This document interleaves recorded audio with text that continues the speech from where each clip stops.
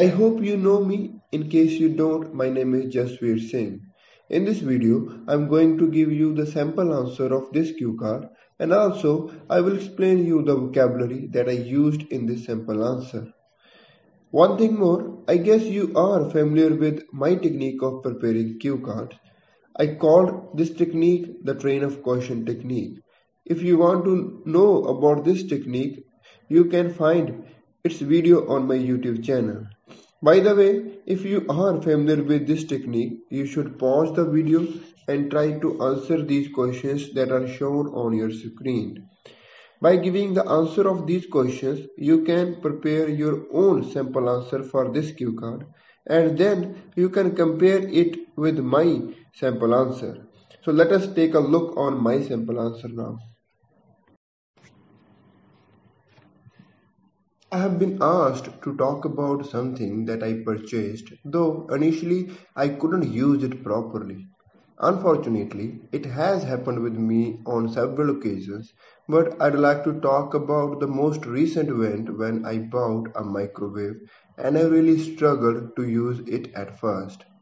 Well, it is the state of the art microwave of IFP brand and I hope you know about this brand. In case you don't know, this brand is known for its high-tech home appliances all across the world. This microwave at that time was the latest model and it was equipped with all the exciting features that a kitchen appliance lovers could imagine. One of my friends who is a tech savvy recommended me to buy this microwave because of its amazing features. However, when I started using it, I had no idea how to use it. I tried to bake a cake, though I burned it. Then I tried to do some basic cookings and I couldn't succeed in it as well. Candidly speaking, I went into the doom state of mind and I started feeling the buyer's remorse. And I was thinking that I made a terrible choice. However, uh, I decided to take help from the internet to know about its operation. Luckily, I came across a wonderful YouTube channel which helped me a lot to use my microwave properly. I vividly remember that I used to watch its operational videos and I used to do cooking all together. Soon, my sadness turned into excitement and I started gaining confidence about using this microwave. Perhaps it took me almost a month to become an expert and now I'm quite confident about working on this microwave. I feel extremely happy about my purchase now. Maybe ਤੁਹਾਨੂੰ ਲੱਗ ਰਿਹਾ ਹੋਵੇ ਕਿ ਬੜਾ ਹੀ simple ਜਿਹਾ cue card ਹੈਗਾ believe me Aam consistently scoring 7 man in IELTS exam and ਮੈਂ ਇਸ ਤਰ੍ਹਾਂ ਦੇ ਹੀ ਕਿਊ ਕਾਰਡ ਬੋਲਦਾ ਹੈਗਾ ਹਾਂ ਇਟ ਇਜ਼ ਨਾਟ ਨੈਸੈਸਰੀ ਕਿ ਆਪਾਂ ਨੇ ਬਹੁਤ ਹੀ ਐਕਸਟਰਾਆਰਡਨਰੀ ਵੋਕੈਬਲਰੀ ਪਾਉਣੀ ਹੈ ਆਪਾਂ ਇੱਕ ਸਿੰਪਲ ਵੋਕੈਬਲਰੀ ਪਾ ਕੇ ਆਪਣੀ ਫਲੂਐਂਸੀ ਦੇ ਉੱਤੇ ਫੋਕਸ ਕਰ ਸਕਦੇ ਹੈਗੇ ਜੇ ਤੁਹਾਡੀ ਅੱਛੀ ਫਲੂਐਂਸੀ ਹੋਗੀ ਜਿਹੜਾ ਕਿ also one of the parameters ਆ ਤੁਹਾਡੀ ਸਪੀਕਿੰਗ ਦਾ ਜਦੋਂ ਆਪਾਂ ਇੱਕ ਡਿਫਿਕਲਟ ਵੋਕੈਬ ਪਾਉਨੇ ਹੈਗੇ ਆ ਤਾਂ ਆਪਣੀ ਜਿਹੜੀ ਫਲੂਐਂਸੀ ਉਹ ਆਟੋਮੈਟਿਕਲੀ ਡਾਊਨ ਹੁੰਦੀ ਆ so always try to use natural words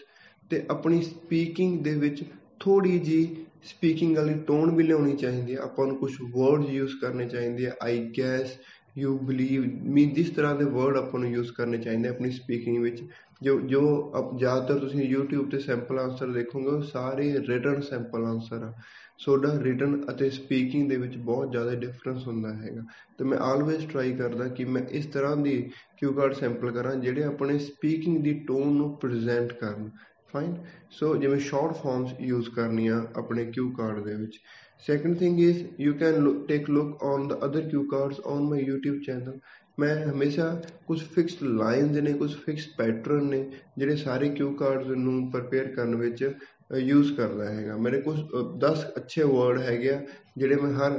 cue card ਵਿੱਚ ਐਡ ਕਰਨ ਦੀ ਕੋਸ਼ਿਸ਼ ਕਰਦਾ ਇਹਦੇ ਨਾਲ ਕੀ ਹੋਊਗਾ ਕਿ ਤੁਹਾਨੂੰ ਬਹੁਤ ਜ਼ਿਆਦਾ ਕੋਈ ਵਕੈਬ ਯਾਦ ਕਰਨ ਦੀ ਜ਼ਰੂਰਤ ਨਹੀਂ ਪੈਣੀ ਕੁਝ ਥੋੜੇ ਜਿਹੇ ਵਰਡਸ ਹੋਣਗੇ ਜਿਹੜੇ ਤੁਹਾਡੀ ਐਕਟਿਵ ਵਕੈਬਸ ਚਲੇ ਜਾਣਗੇ ਤੁਸੀਂ ਆਟੋਮੈਟਿਕਲੀ ਉਹਨਾਂ ਵਰਡਸ ਨੂੰ ਰਿਪੀਟ ਕਰਨ ਲੱਗ ਜਾਓਗੇ ਜੇ ਤੁਸੀਂ ਮੇਰੇ ਸਾਰੇ ਕਿਊ ਕਾਰਡ ਸੁਣੋਗੇ 1 ਬਾਈ 1 ਤਾਂ ਤੁਹਾਨੂੰ ਇਹ ਚੀਜ਼ ਦਿਖ ਜਾਣੀ ਹੈਗੀ ਆ ਕਿ ਕੁਝ ਵਰਡਸ ਹੈਗੇ ਜਿਹੜੇ ਮੈਂ ਵਾਰ-ਵਾਰ ਯੂਜ਼ ਕਰਦਾ ਹੈਗਾ ਵਨ ਥਿੰਗ ਮੋਰ ਮੈਂ ਟੈਕ ਮੇਰੇ ਜ਼ਿਆਦਾਤਰ ਪੈਟਰਨ ਵੀ ਸੇਮ ਹੀ ਰਹਿੰਦੇ ਹੈਗੇ ਆ ਕਿ ਮੇਰਾ ਇੰਟਰੋਡਕਸ਼ਨ ਬਣਾਉਣ ਦਾ ਇੱਕ ਫਿਕਸ ਪੈਟਰਨ ਹੈਗਾ ਉਸ ਤੋਂ ਬਾਅਦ ਮੈਂ ਕੁਝ ਅਗਲੀ ਚੀਜ਼ ਥੋੜੀ ਫਿਕਸ ਵੇ ਨਾਲ ਦੱਸਦਾ ਤਾਂ ਫਿਕਸ ਪੈਟਰਨ ਵੀ ਤੁਹਾਨੂੰ ਹੈਲਪ ਕਰੂਗਾ ਫਿਊਚਰ ਦੇ ਵਿੱਚ ਕਿਉ ਕਾਰਡ ਨੂੰ ਯਾਦ ਰੱਖਣ ਦੇ ਲਈ so let's take a look on the vocabulary now ਹਾਂਜੀ ਫਰਸਟ ਵਰਡ ਹੈਗਾ ਦੋ ਦੋ ਦਾ ਮੀਨਿੰਗ ਹੈਗਾ ਬਟ ਜਿੱਥੇ ਆਪਾਂ ਬਟ ਲਗਾਉਨੇ ਆ ਉੱਥੇ ਆਪਾਂ ਦੋ ਲਗਾ ਸਕਦੇ ਆ ਤੁਸੀਂ ਲਿਸਨਿੰਗ ਵਿੱਚ ਜ਼ਿਆਦਾਤਰ ਸੁਣਿਆ ਹੋਊਗਾ ਵਰਡ ਉਹ ਬਟ ਨਹੀਂ ਯੂਜ਼ ਕਰਦੇ ਤੁਸੀਂ ਲਿਸਨਿੰਗ 'ਚ ਗੌਰ ਕਰਿਓ ਬਟ ਦੀ ਜਗ੍ਹਾ ਤੇ ਦੋ ਹੀ ਜ਼ਿਆਦਾ ਯੂਜ਼ ਕਰਦੇ ਆ ਜੋ ਇੰਗਲਿਸ਼ ਨੇਟਿਵ ਸਪੀਕਰ ਹੈਗੇ so the next word is the state of the art the state of the art state of the art ਦਾ ਮਤਲਬ ਹੁੰਦਾ ਦਾ ਲੇਟੈਸਟ ਪ੍ਰੋਡਕਟ ਜੋ ਵੀ ਕਿਸੇ ਵੀ ਚੀਜ਼ ਦੀ ਮੈਂ ਗੱਲ ਕਰ ਰਿਹਾ state of the art technology ਮਤਲਬ ਮੋਸਟ ਲੇਟੈਸਟ ਟੈਕਨੋਲੋਜੀ ਆ ਮਾਡਰਨ ਟੈਕਨੋਲੋਜੀ ਆ ਉੱਥੇ ਆਪਾਂ ਇਹ ਵਰਡ ਨੂੰ ਯੂਜ਼ ਕਰ ਸਕਦੇ ਹਾਂ next word is tech savvy tech savvy ਆਪਾਂ ਉਸ ਬੰਦੇ ਨੂੰ ਕਹਿ ਦਿੰਦੇ ਆ ਕਿਸੇ ਚੀਜ਼ ਨੂੰ ਵੀ ਕਹਿ ਸਕਦੇ ਆ ਖਾਸ ਕਰਕੇ ਪਰਸਨਲੀ ਯੂਜ਼ ਹੁੰਦਾ ਹੈ ਕਿ ਜਿਹਨੂੰ ਟੈਕਨੀਕਲੀ ਬਹੁਤ ਜ਼ਿਆਦਾ ਨੌਲੇਜ ਹੈਗੀ ਹੈ that person is called tech savvy and candidly speaking candidly speaking ਮਤਲਬ ਜਿਹਨੂੰ ਜਿੱਥੇ ਆਪਾਂ ਯੂਜ਼ ਕਰਦੇ ਆ ਟੂ ਬੀ ਓਨੈਸਟ ਉੱਥੇ ਆਪਾਂ ਕੈਂਡਿਡਲੀ ਸਪੀਕਿੰਗ ਯੂਜ਼ ਕਰ ਸਕਦੇ ਆ ਕੈਂਡਿਡਲੀ ਸਪੀਕਿੰਗ ਇਹ ਬੜੇ ਸਿੱਧੇ ਤਰੀਕੇ ਨਾਲ ਜੇ ਬੋਲਾਂ ਜਿਵੇਂ ਪੱਕੀ ਸੱਚ ਬੋਲਾਂ ਤਾਂ ਤਾਂ ਕੈਂਡਿਡਲੀ ਸਪੀਕਿੰਗ ਜਾਂ ਟੂ ਬੀ ਓਨੈਸਟ ਦੋਨੋਂ ਦਾ ਸੇਮ मीनिंग ਹੀ ਹੈਗਾ the doom state of mind doom state of mind ਕੀ ਹੋਇਆ ਕਿ ਮੈਂ ਬੜਾ ਸੈਡ ਫੀਲ ਕਰ ਰਿਹਾ ਹਾਂ ਇਹ ਈਡੀਅਮ ਹੈਗਾ ਕਿ ਮੈਂ ਬਹੁਤ ਹੀ ਜਾਨ ਕਿ ਡਿਪਰੈਸ਼ਨ ਦੇ ਵਿੱਚ ਚਲਾ ਗਿਆ ਸੀ the doom state of mind buyer's remorse buyer's remorse buyer's remorse ਦਾ ਮਤਲਬ ਹੁੰਦਾ ਹੈਗਾ ਕਿ ਜਦੋਂ ਆਪਾਂ ਕੋਈ ਚੀਜ਼ ਖਰੀਦ ਲੈਂਦੇ ਹਾਂ ਸਮ ਟਾਈਮਸ ਆਪਾਂ ਨੂੰ ਬੜਾ ਡਿਸਪਾਇੰਟਮੈਂਟ ਹੁੰਦੀ ਹੈ ਉਹਨੂੰ ਯਾਨੀ ਕਿ ਟਿਪੀਕਲ ਵਰਡ ਹੈਗਾ ਉਹਨੂੰ ਬਾਇਰਸ ਰਿਮੋਰਸ ਵੀ ਬੋਲ ਦਿੰਦੇ ਹੈਗੇ so another word is terrible terrible ਹੁੰਦੀ ਹੈ ਬਹੁਤ ਹੀ ਬੁਰੀ ਚੁਆਇਸ ਠੀਕ ਹੈ ਬੈਡ ਚੁਆਇਸ ਨੂੰ ਉੱਪਰ ਟੈਰਬਲ ਚੁਆਇਸ ਯੂਜ਼ ਕਰਿਆ ਹੈਗਾ ਥੋੜਾ ਜਿਹਾ ਅਲੱਗ ਵਰਡ ਸੀ ਇਹ ਸੋ ਫਾਈਨਲੀ ਆਈ ਵਿਵਡਲੀ ਰਿਮੈਂਬਰ ਵਿਵਡਲੀ ਬੜਾ ਕਲੀਅਰਲੀ ਰਿਮੈਂਬਰ ਆ ਮੈਨੂੰ ਵਿਵਡਲੀ ਰਿਮੈਂਬਰ ਹੈਗਾ so these are the words that I used in my Thank you very much watching this video till the end.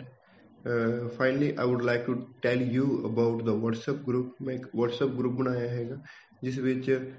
sincere students main add kar ਮੈਂ hai ga jo bhi mere channels nu follow kar rahe hai ga you can uh, send me a message on my whatsapp number ਤੇ ਮੈਂ ਤੁਹਾਨੂੰ ਉਸ group ਦੇ ਵਿੱਚ add ਕਰ ਦੂੰਗਾ ਉਸ ਗਰੁੱਪ ਦੇ ਵਿੱਚ ਜਨਰਲੀ ਸਾਡਾ ਫੋਕਸ ਰਾਈਟਿੰਗ ਟਾਸਕ 2 ਦੇ ਆਈਡੀਆਜ਼ ਡਿਸਕਸ ਕਰਨਾ ਤੇ ਉਹਦੇ ਰਿਲੇਟਡ ਵੋਕੈਬਲਰੀ ਨੂੰ ਡਿਸਕਸ ਕਰਨਾ otherwise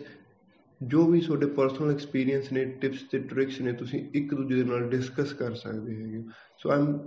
creating a group where you can discuss ideas with one another ਤੁਸੀਂ ਤੁਹਾਡਾ ਫੁੱਲੀ ਫ੍ਰੀडम ਆਫ ਸਪੀਚ ਹੈਗਾ ਬੋਲਣ ਦਾ you can you can share other sample answers of other people in that WhatsApp group so i hope uh, you are looking forward to join that whatsapp group